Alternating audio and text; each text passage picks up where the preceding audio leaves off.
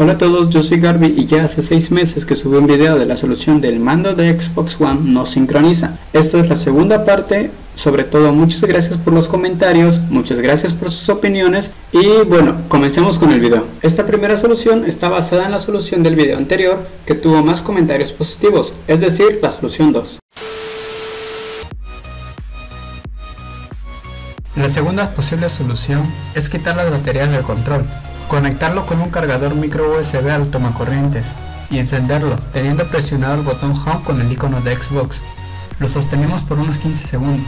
Posiblemente el control se apague, pero en esto no hay problema, solo volvemos a encender y repetimos. Después de eso quitamos el cargador y volvemos a coordinar el mando con la consola. Muy bien, para corregir un poco al pequeño Garby del pasado, si la solución 2 no te sirvió quitando el cargador y regresándole las baterías, enciende la consola y sincronízala teniendo el control conectado al tomacorrientes. Después regresale las baterías teniéndolo conectado. Por último, desconéctalo, reinicia la consola y listo. En esta otra solución únicamente vas a tener que sincronizar el mando a la consola y reiniciar la consola.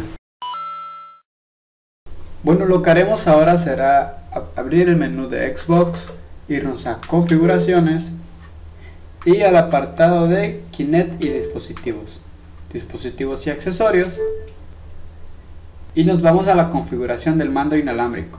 Nos vamos a los puntos suspensivos y asignamos un usuario. En este caso el control está asignado a mi cuenta, pero al no sincronizarse del todo vamos a darle un inicio de sesión instantáneo. En este caso vamos a escoger a mi usuario. El inicio de sesión instantáneo lo vamos a poner a mi cuenta y se asignará a Garby Ruiz. Y vamos a vincular el control a mi cuenta.